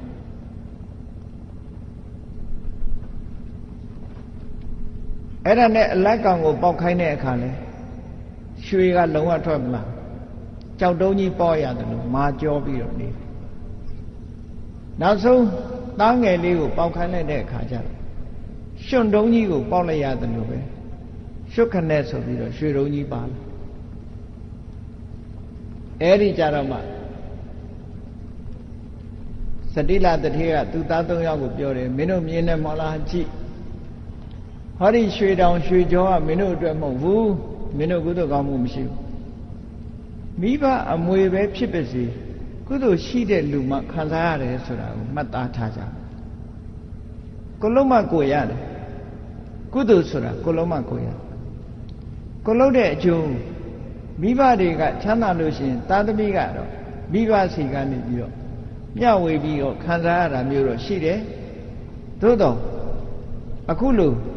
အမွေရဖို့ဆိုတဲ့အဆင့်ရောက်တဲ့အခါကျတော့ ကိုယ်ကိုယ်တိုင်ကုသိုလ်ကောင်းမှုလုပ်ခဲ့မှခံစားရတယ်ဆိုကိုယ်ကိုယ်တိုင်မလုပ်ရင်ကိုယ်နဲ့ဘာမှမပိုင်တချို့မိဘကဘလောက်ချမ်းသာချမ်းသာမိဘရဲ့အမွေမရလိုက်တဲ့ပုဂ္ဂိုလ်တွေလောကမှာရှိတယ်ဟောဒါကြောင့်မို့ကုသိုလ်ကောင်းမှုဆိုတာကိုယ်တိုင်လုပ်ရမယ်ตาအကြီးကလည်းရွှေတုံးထွက်အောင်မပေါက်နိုင်ဘူးသားလက်ကလည်းရွှေတုံးထွက်အောင်မပေါက်နိုင်ဘူး အငယ်ကပေါက်လိုက်တဲ့အခါမှာရွှေတုံးဟာလွယ်တကူရတယ်ဇတိလတထေကသားတွေကိုဆုံးမဩဝါဒပေးတယ်ဟောဒီရွှေတုံးရွှေတောင်ကြီးဟာမင်းတို့နဲ့မသက်ဆိုင်ဘူးမင်းတို့အတွက်ဖြစ်တာမဟုတ်ဘူးငါနဲ့ငါသားငယ်အတွက်သာဖြစ်တာဟာအဲ့တော့သူပေးသမျှနဲ့မင်းတို့ကျင့်납ပြီးတော့နေမင်းတို့ရဲ့အမွေမဟုတ်တော့ဘူးလို့ဆိုတာလက်တွေ့ပြ သားသုံးယောက်ကိုအပ်ပြီးတော့သားငယ်လေးကိုရွှေတော်ကြီးရောပစ္စည်းစည်းစိမ်ဥစ္စာတွေကုန်အပ်ပြီးတော့သင်္ကန်းဝတ်သွားအဲ့ဒီမှာစဉ်းစားကြည့်သားကြီးလှုပ်တဲ့ပုဂ္ဂိုလ်ဘာဖြစ်လို့ရွှေကိုမထုတ်နိုင်တယ်လဲသားလက်ပုဂ္ဂိုလ်ကလည်းဘာဖြစ်လို့ရွှေကိုမထုတ်ယူနိုင်တယ်လဲလို့ဆိုကသဗ္ဗဗျာလက်ထက်တုန်းကဇေဒီကြီးမှာရွှေပန်းကုန်းနဲ့ရွှေအိုးကြီးတွေကိုလှုပ်တဲ့အချိန်မှာ အဲ့တုန်းကလည်းဒီအဖေနဲ့ဒီသားသုံးယောက်ပဲဆုံတတ်တယ်နော်ဒီအဖေနဲ့ဒီသားသုံးယောက်အဖေလှုပ်တဲ့ပုဂ္ဂိုလ်ကလှုပ်ရမှာကရွှေအိုးကြီးနဲ့ရွှေပန်းကုန်းတွေဆိုအများကြီးလှုပ်ရမှာသားကြီးကိုပြောတယ်ငါသားအဖေဝိုင်းလှုပ်ပါလို့ဆိုဟာအဖေပြင်မာတာပဲအဖေဖာစီအဖေလှုပ်ကျွန်တော်လည်းမဆိုင်ဘူးဆိုဝိုင်းမလှုပ်ဘူးတဲ့ ချစ်ကံကံသားသမီးကခုခေတ်မှရှိတာမဟုတ်ဘူးနော်အလတ်ကောင်ခိုင်းမြန်တော့လည်းပဲကျုပ်နဲ့မဆိုင်ဘူးဘာမှလုံးမလုံးနိုင်ဘူးလို့ဆိုပြီးတော့ညင်းပဲ့တယ်အငဲကောင်လေးကြတော့ဟာအဖေလုံးဆိုလုံးရမှာပေါ့အတက်တရောဝိုင်းပြီးတော့လုံးတယ်ကြည့်ကုသိုလ်ကောင်းမှုဆိုတာသက်ဆိုင်တဲ့ပုဂ္ဂိုလ်မှရတာနော်ရွှေအိုးကြီးနဲ့ရွှေပန်းကုန်းတွေလှုပ်ပြီးတော့လှူတဲ့အချိန်တုန်းက သားငယ်လေးကပါဝင်ပြီးတော့အတက်တရောလှုပ်ခဲ့တဲ့အတွက်ကြောင့်အဲ့နောက်ဖေးမှာပေါ်လာတဲ့ရွှေကြောကြီးနဲ့ရွှေတောင်ကြီးဟာစတိလတထေးနဲ့အငယ်ဆုံးသားအတွက်သာဖြစ်တယ်ဒီလိုဆိုတာပေါ့နော်ကဲအဲ့ဒါလောက်ချမ်းသာပြီမဲ့လို့ဇောတိကတထေယောဇတိလတထေယောနောက်ဆုံးကြတော့ဘာလို့ကြလဲလူကျင်မှုတဏဖယ်ရှားမှ တို့ရဲ့ဘဝဒုက္ခတွေဟာကင်းပါလို့ဆိုတာခရတရားနာရတော့အလုံးသဘောပေါက်သွားသဘောပေါက်သွားသည့်အတွက်ကြောင့်နှစ်ဦးစလုံးဟာသာသနာပေါင်းဝင်ပြီးတော့ရဟန်းပြုကြတယ်အဲ့ဒီမှာမြတ်စွာဘုရားကဒီနှစ်ဦးလုံးအတွက်ဟောတဲ့ဒေသနာကလည်းတညီတည်းပဲယောဓတဏံပဟန္တဝါနအနာကာရောပြိပ္ပစီတဏံပဟပဟန္တဝါန လူကျင်မှုဆိုတဲ့တဏှာကိုဖယ်ရှားလိုက်ရတယ်ကြည့်လေတထေးဘဝမှာရရှိတဲ့စည်းစိမ်ဥစ္စာတွေကိုထပ်မှန်ပြီးတော့တွေ့တာနေမယ်မမောနေမယ်ဆိုလို့ရှိရင်ဘဝကဘယ်တော့မှအဆုံးမသတ်နိုင်ဘူးဒါကြောင့်မို့အဲ့ဒီတွေ့တာမှုဆိုတဲ့တဏှာတန်ရောစဉ်တွေကိုဖယ်လိုက်ပြီးတော့သာသနာပေါင်းဝင်ပြီးတော့ရဟန်းခံလိုက်ကြတယ်ရရှိထားတဲ့စည်းစိမ်ဥစ္စာတွေအလုံးစွန့်ပစ်ကြယော ဓတဏံပဟန္တဝါနအနာဂါရောပြိပ္ပစီဒီလောကမှာဘယ်သူပဲဖြစ်ဖြစ်လူကျင်မှုဆိုတဲ့တဏှာကိုဖယ်ရှားပြီးတော့အိမ်ရဲ့စည်းပွားတွေကိုစွန့်ပယ်ပြီးသာသနာပေါင်းဝင်ပြီးတော့ယဟန်ပြုမယ်တဏှာဘဝပြိခိဏတမဟံပြုမိဖြစ်မယ် လူကျင်မှုဆိုတဲ့တဏှာကုံမထိုတဏှာကုံမှုကိုအကြောင်းပြုသွားတဲ့ဘဝကုံမှုအဲ့ဒီဘဝကုံဆုံးမှုနဲ့တဏှာကုံဆုံးမှုနဲ့ဘဝကုံဆုံးမှုလူကျင်မှုကုံဆုံးမှုကြောင့်ဘဝဆိုတာကုံဆုံးတယ်လူကျင်မှုလည်းကုံဆုံးတယ်ဘဝလည်းကုံဆုံးသွားတယ်အဲ့ဒီလူကျင်မှုနဲ့ဘဝကုံဆုံးသွားတဲ့ပုဂ္ဂိုလ်မျိုးကိုမှတကယ်မြင့်မြတ်တဲ့ ဗြဟ္မဏသူတော်စင်ယဟန္တာပုဂ္ဂိုလ်မြတ်ဖြစ်တယ်လို့ငါဘုရားဟောတယ်လို့မြတ်စွာဘုရားကဗြဟ္မဏပုဂ္ဂိုလ်ရဲ့အဆင့်တန်းဆိုတာတဏှာကုံရင်ဘဝကုံတယ်တဏှာနဲ့ဘဝကုံတဲ့ပုဂ္ဂိုလ်မြတ်တွေချီးမွမ်းထောမနာတဲ့အနေနဲ့ဒီဒေသနာတော်ကိုဟောကြားတာဖြစ်တယ်ဟောဒါကြောင့်တရားချစ်ခင်သူတော်စင်ပြိဿအပေါင်းတို့တို့တွေလိုချင်နေသမျှတော့ ဘဝခရီးကိုရှောက်လန်းနေကြရအောင်ပါပဲလိုချင်မှုကိုအကြောင်းပြုပြီးတော့ကောင်းမှုတွေလုပ်တဲ့အခါမှာလဲချမ်းသာဒုက္ခတွေဘဝချမ်းသာတွေရနေကြအောင်ပါပဲတို့ရတဲ့ဘဝချမ်းသာဟာနောက်ဆုံးကြတော့လေဟိုချင်းစင်းရဲနာချင်းစင်းရဲသေချင်းစင်းရဲတွေနဲ့ဆုံးသတ်သွားအောင်ပါပဲဘယ်ဘဝမှာပဲဖြစ်ဖြစ်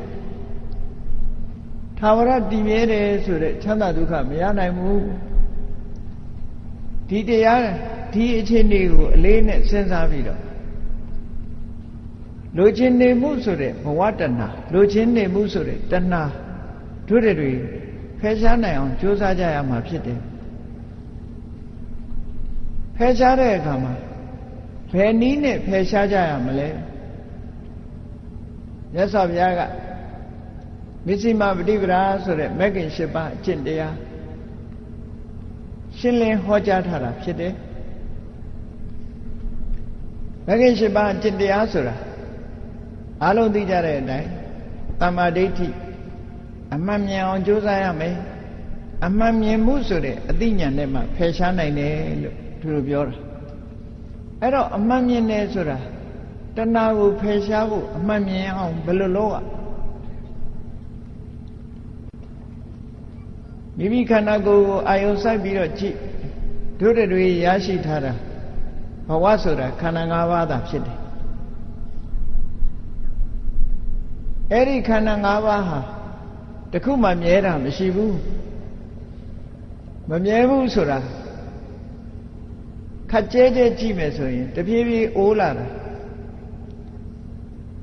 အိုးလာပြီးတော့နားတယ်နားပြီးရင်နောက်ဆုံးမှသိဆုံးသွားရတယ်ဆိုတာ လူတိုင်းလူတိုင်းဟာငင်းွယ်လို့မရတဲ့အနေအထားမျိုးရှိတယ်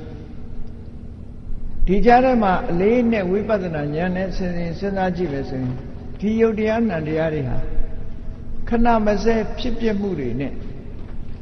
အမြဲတမ်းနှိမ့်ဆက်ပြီးတော့နေတဲ့အရာတွေသာဖြစ်တယ်ထာဝရပြောင်းလဲနေတဲ့အရာတွေသာဖြစ်တယ်မြည်ရည်ကြီးဟာစီးဆင်းနေတယ်လို့ပဲခန္ဓာကိုယ်မှာရှိတဲ့ယုတ်တရားနံတရားတွေဟာ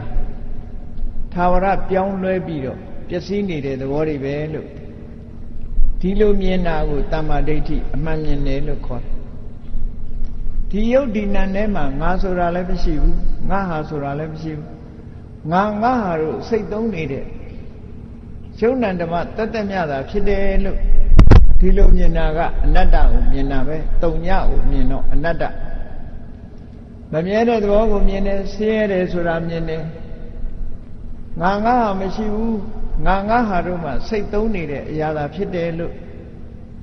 ကိုလုံနိုင်တာတခုမှမရှိဘူးလို့မြင်တာအနတ္တမြင်တာအဲ့ဒီအနိစ္စဒုက္ခအနတ္တကိုမြင်တဲ့ဝိပဿနာဉာဏ်ကိုတမ္မာဒိဋ္ဌိလို့ခေါ်တယ်ပေါ့အဲ့ဒီအမြင်ဉာဏ်ရဖို့အတွက်ဘာတွေလုပ်ရမလဲဆိုတာကိုမဂ္ဂင်၈ပါးမှာမြတ်စွာဘုရားကဆက်ဟောတာဒီလိုအမြင်မှန်ရဖို့အတွက် မှန်ကန်တဲ့အတွေးထက်တွေးရမယ်မှန်ကန်တဲ့အတွေးတမ္မာသင်္ကပ္ပမှန်ကန်တဲ့အတွေးစဉ်းစားဆင်ခြင်ပြီးတော့ကြည့်ကိုယ်ခန္ဓာကိုယ်ဟာဘယ်တော့မှမမြဲဘူးဆိုတာမြဲနေမယ်ဆိုရင်မွေးလာကစားတော့ငငယ်လေးအခုအကြီးကြီးဖြစ်လာတယ်ရုပ်ဟာတပြေးပြေးရင့်လာတယ်ဆိုတာတနှစ်သားအရွယ်ကဓာတ်ပုံရိုက်ထားဆယ်နှစ်သားအရွယ်ကြည့် ထပ်ရိုက်အသက်20 40 50 60 80 80အများကြီးပြောင်းလဲသွားတယ်ဆိုတာကိုတွေ့ရအဲ့ဒါလို့ပြောင်းလဲတာဟာခုံကြော်ပြီးပြောင်းလဲသွားတာလားဆိုတော့မဟုတ်ဘူးနေ့စဉ်နဲ့အမျှစက္ကန့်ပိုင်စက္ကန့်တစ်စက္ကန့်ပြီးတစ်စက္ကန့်ပြောင်းနေတဲ့အပြောင်းမျိုးသာဖြစ်တယ်ပေါ့အဲ့ဒါလို့မှန်ကန်တဲ့အတွေးနဲ့ တွေးကြည့်စဉ်းစားကြည့်ပဲဆိုရင်တမ္မာဒိဋ္ဌိဆိုတဲ့မှန်ကန်တဲ့အမြင်ကိုရရှိလာမှာဖြစ်တယ်ပေါ့အေးမမှန်ကန်ကန်တွေးပြီးတွေးတတ်ပြီးဆိုတဲ့အခါမှာအမှန်တွေးတဲ့ပုဂ္ဂိုလ်တွေဟာစကားပြောတာတွေးပြီးပြောတာဖြစ်သောကြောင့်အမှန်တွေးတတ်တဲ့ပုဂ္ဂိုလ်သည်စကားပြောရင်လည်းအမှန်ကိုသာပြောမယ်အမှားကိုမပြောဘူးတမ္မာဝါစာ ပြောပြီးလုံးကြတာဖြစ်သောကြောင့်အမှန်ပြောတဲ့ပုဂ္ဂိုလ်သည်အမှန်ပဲလုပ်တယ်တမ္မာသင်္ကပ္ပတမ္မာတမ္မာကမ္မန္တဟောတမ္မာဝါစာတမ္မာကမ္မန္တတစ်ခုနဲ့တစ်ခုခွင်းဆက်ထားတယ်အေးဘဝမှာအသက်မွေးတယ်ဆိုတာအပြောနဲ့အလုံးနဲ့အသက်မွေးကြရတာဖြစ်တယ်ဒါကြောင့်မို့အပြောလဲမှန်တယ်အလုံးလဲမှန်တယ်ဆိုတဲ့ပုဂ္ဂိုလ်ရဲ့အသက်မွေးမှုဟာလေမှန်ကန်တဲ့အသက်မွေးမှုသာဖြစ်တယ်ဟော တမ္မာအာစီဝကိုချင်းသီလတွေကိုခြေခံပြီးတော့မှန်မှန်ကန်ကန်တွေးတတ်ဖို့ကိုချင်းသီလမပါလို့ရှိရင်စိတ်တည်ငြိမ်မှုဆိုတာမရဘူးကိုချင်းသီလကိုအကြောင်းပြုပြီးတော့ဝမ်းသာမှုတွေပီတိဖြစ်မှုတွေစိတ်သက်ငြိမ်အေးမှုတွေချမ်းသာမှုတွေချမ်းသာမှုတွေရှိမှစိတ်တည်ငြိမ်မှုဆိုတဲ့တမာရိယာဖြစ်နိုင်တယ် အဲ့ဒီစိတ်တည်ငြိမ်မှုဆိုတဲ့တမာရိမဖြစ်ဘဲယထာဘူတညာဏတတနာအဖြစ်မှန်ကိုသိနိုင်ဖို့မရှိဘူးတဲ့ဒါကြောင့်မို့တမ္မာဝါစာတမ္မာကမ္မန္တတမ္မာအာဇီဝတို့ဟာတမ္မာဒိဋ္ဌိလို့ဆိုတဲ့ယထာဘူတဉာဏ်ကိုဖြစ်ပေါ်စေတယ်ထောက်ကူပြုတယ်ထောက်ကူပြုတယ်မှန်ကန်စွာတွေးတောခြင်းကအမှန်သိခြင်းကိုထောက်ကူပြုတယ်လို့ ကိုချင်းသီလကလည်းမှန်ကန်စွာသိမြင်ခြင်းကိုထောက်ကူပြုတယ်လို့ဒီလိုပြောတာဟုတ်ပြီမမကန်ကန်အသက်မွေးမှုရှိအဲ့ဒီလိုအသက်မွေးတဲ့ပုဂ္ဂိုလ်ဟာပြင်းနေလို့ရှိရင်မဖြစ်ဘူးအရာခသိမ်းဟာမလုပ်ဖဲပါတခုမှမရဘူးဒါကြောင့်မို့တမ္မာဝါယာမကြိုးစားအထောက်ရမယ်ကြိုးစားအထုတ်တယ်ဆိုတာကိုယ်တဏ္ဍမှာ မဖြစ်သေးတဲ့အကုသိုလ်တွေမဖြစ်အောင်ကြိုးစားရဖြစ်ပြီးသားအကုသိုလ်တွေဖယ်ရှားပြဖို့ကြိုးစားရမယ်မဖြစ်သေးတဲ့ကုသိုလ်တွေဖြစ်လာအောင်ကြိုးစားရမယ်ဖြစ်ပြီးသားကုသိုလ်တရားတွေတိုးပွားလာအောင်ကြိုးစားဟောဒီကျေဥစားမှု၄ရက်ကိုတမ္မာသင်္ကတမ္မာဝါယာမလို့ခေါ်တယ်အဲ့ဒါလို့ကြိုးစားမှအမှန်သိမှုဆိုတာလာမယ်တဲ့အဲ့ဒါလို့ကြိုးစားတဲ့အချိန်မှာ အလုတ်တစ်ခုလှုပ်တိုင်းတတိထားဖို့လိုအပ်တယ်တမ္မာတတိဘယ်ပေါ်မှာတတိထားရမလဲအမှန်သိဖို့အတွက်မိမိရဲ့ကိုယ်ကာယပေါ်မှာတတိထားရမယ်မိမိရဲ့ခံစားချက်ပေါ်မှာတတိထားရမယ်မိမိရဲ့စိတ်ဖြစ်မှုပေါ်မှာတတိထားရမယ်မိမိတဏ္ဍာမှာဖြစ်နေတဲ့သဘာဝတရားတွေပေါ်မှာတတိထားရမယ်ကာယဝေဒနာစိတ်ဓဓမ္မလို့ဆိုတယ်တတိပဒံအာယုံ၄ပါးပေါ်မှာတတိထား တမ္မာတတိလို့ခေါ်တယ်အဲ့ဒါလို့တတိထားပြီးတော့စိတ်ဓာတ်တွေတည်ငြိမ်မှုဆိုတဲ့တမာတိရအောင်ကြိုးစားတမာတိကိုအစစ်မြင့်ဆုံးထိအောင်ပြောမယ်ဆိုရင်တော့အပ္ပနာတမာတိစံတရားတွေထိအောင်တမာတိစွမ်းအားတွေနဲ့စံရသည့်ထိအောင်ကြိုးစားအဲ့ဒါလောက်ထိအောင်မရောက်ဘူးဆိုရင်အာယုန်တစ်ခုပေါ်မှာစိတ်ငြိမ်သွားသည့်ထိအောင်ကြိုးစား အဲ့လိုကြိုးစားတဲ့တမာတိတရားရှိမှအမှန်မြင်တယ်ဆိုတာဖြစ်နိုင်တယ်ဟောခွင်းဆက်ပဲအလုံးဟာဘု து အတွက်လဲသမ္မာသင်္ကပ္ပကစအမှန်တွေးခြင်းသည်အမှန်သိဖို့အမှန်ပြောအမှန်လုပ်မှန်ကန်တဲ့အသက်မွေးမှုဟာလည်းပဲအမှန်သိဖို့ပဲကြိုးစားမှုနဲ့တတိထားမှုတွေစိတ်တည်ငြိမ်မှုတွေကလည်းဘု து အတွက်လဲလို့ဆိုအမှန်သိဖို့အတွက်ပဲ အမှန်သိမှသာလေဘုန်းကြီးတို့တွေတွေ့တားနေတဲ့လူချင်းနေတဲ့တဏှာဆိုတာကိုဖယ်ရှားပြစ်နိုင်မှာဖြစ်တယ်အဲ့ဒီတဏှာကိုဖယ်ရှားပြစ်နိုင်မှဘဝဆိုတာကိုလည်းရပ်ဆိုင်ပြစ်နိုင်မှာဖြစ်တယ်ဒါကြောင့်မို့မြတ်စွာဘုရားကတဏှာဘဝပြိခိဏတမဟံဖြူဖြူမိပြမနံမြင့်မြတ်တဲ့ပုဂ္ဂိုလ်တွေဟာ တွေ့တာမှုဆိုတဲ့တဏှာလိုချင်မှုဆိုတဲ့တဏှာအဲ့ဒီတဏှာကိုဖယ်ရှားပြစ်ခြင်းအပြင်ဆင်းရဲဒုက္ခတွေနဲ့ပွေလိန်ရှုပ်နေတဲ့ဘဝဆိုတာကိုလည်းဖယ်ရှားပြစ်နိုင်တဏှာလဲကုန်မယ်ဘဝလဲကုန်မယ်လိုချင်မှုလဲကုန်မယ်ဘဝလဲကုန်အဲ့ဒီလိုလိုချင်မှုနဲ့ဘဝအဆုံးသတ်သွားမှသာလေမြင့်မြတ်ဖြူစင်တဲ့ပုဂ္ဂိုလ်မျိုးလို့ဒီလိုခေါ်ရမှာဟောနောက်ဆုံးကြတော့ကြွယ်ဝချမ်းသာသမျှလိုချင်မှုတွေနဲ့ အဆုံးမတတ်နိုင်လို့ဆင်းရဲတဲ့ဘဝခရီးကိုရှောင်လန်းနေကြရတဲ့ပုဂ္ဂိုလ်တိုင်းပုဂ္ဂိုလ်တိုင်းဟာဒီထွက်ပေါက်ကနေထွက်ပေါက်မှထွက်နိုင်မှဆင်းရဲဒုက္ခကလွတ်မြောက်မှာဖြစ်တယ်လူကျင်မှုသည်ဘယ်တော့မှအဆုံးမတတ်ဘူးအဆုံးမတတ်လို့ရှိရင်ဘဝဒုက္ခကလည်းဘယ်တော့မှအဆုံးမတတ်ဘူးဒါကြောင့်မို့ဘဝဒုက္ခဘဝဒုက္ခအဆုံးတတ်ဖို့အတွက်လူကျင်မှုကိုအဆုံးတတ်ရမယ်လူကျင်မှုအဆုံးတတ်ခြင်းလို့ရှိရင် မဂ္ဂင်၈ပါးအကျင့်တရားကိုကြည်ကြံကြိုးကိုအားထုတ်ကြရမှာဖြစ်တယ်လို့ကိုစီကိုစီသဘောကျပြီးဘုရားမြတ်စွာချမှတ်တော်မူခဲ့တဲ့မစ္စည်းမပฏิပဒါလို့ခေါ်တဲ့ဝိပဿနာကျင့်စဉ်မဂ္ဂင်၈ပါးအကျင့်တရားကိုကျင့်ကြံကြိုးကိုအားထုတ်ခြင်းဖြင့်လိုချင်မှုကိုဆုံးသတ်ပြီးဘဝခရီးကိုရပ်ဆိုင်အောင်ကြိုးစားအားထုတ်နိုင်ကြပါစေကုန်သတည်း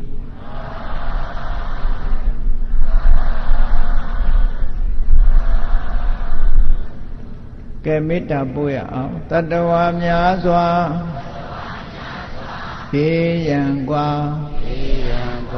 ချမ်းသာကြပါစေတတဝါများစွာေယံကွာချမ်းသာကြပါစေမေတ္တာရေချမ်း မေတ္တာရေချမ်းသုံးငါဖြံ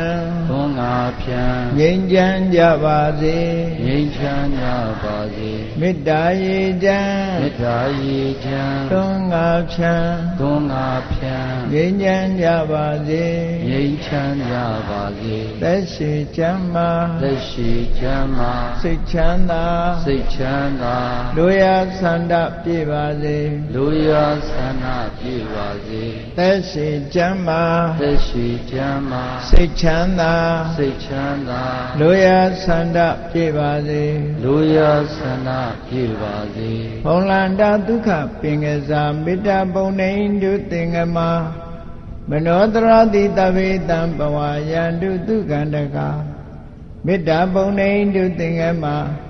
စုပေါင်းပုအပ်မေတ္တာတဟုရောင်မြူပါဝင်ငွေလာမင်းနှင့်ရောင်ခြင်းရှက်ယုံပေါင်းဆောင်ရခြင်းကြောင့် တဗေတံကျွမဲ့ဥတုံလုံးစုံများစွာတတ္တဝါတို့ဤမနောတရတိမြင်မြဖြူစင်အေးကြည်လင်းသည့်ရေစဉ်ပြည့်တင်းစိတ်နှလုံးတည်ဟုသောရေအိုင်ကြီးအတွင်၌ဒုက္ခပင်ကသာစင်ထာဝရအေးမြကြည်သာတာယာပွင့်လန်းချမ်းသာဒုက္ခတည်ဟုသောကုမုဒ္ဒရာကြာပန်တို့သည်ဖုံးလန်းတဝန္တာရှင်မြူဝမုံလူလျက်ကြည်နူးွယ်ကြုံဖူးပွင့်ကြကုန်သည်ဖြစ်၍ သူကန္တကလေးအောင်လေးတဲ့ရောရှက်သင်ပြန့်ပိတိတိဟုသောယနန်းတို့သည်ဘဝရန်သူကောင်းစွာမဲ့သွေကြိုင်လန်၍နေကြပါစေကုန်တတိသာဓုသာဓုသာ